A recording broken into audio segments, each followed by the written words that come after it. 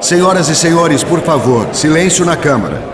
Para tratar das prioridades do município, eu gostaria de dar a palavra ao excelentíssimo, ilustríssimo, digníssimo seu Zeca. Com a participação cidadã, todos os gaúchos podem decidir sobre o Orçamento Estadual 2015. E você, o que vai decidir? Cadastre-se em meu.rs.gov.br e vote nos dias 2, 3 e 4 de junho. Saiba mais em participa.rs.gov.br. Governo do Estado. Promover a igualdade faz a diferença.